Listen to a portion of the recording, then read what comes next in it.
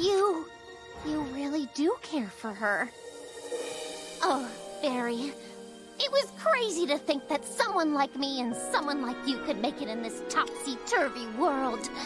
You're a good kid, Barry. But I'd ruin you. Goodbye, Barry. We'll always have...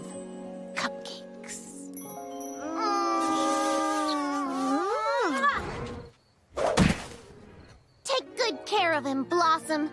I have many reasons to hate you, but this isn't one of them. What just happened?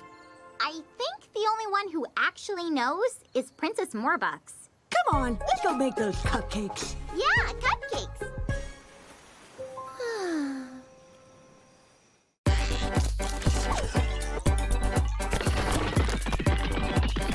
We'll be right back with more Boomerang. I knew I should have taken that lift to Albuquerque. Stop!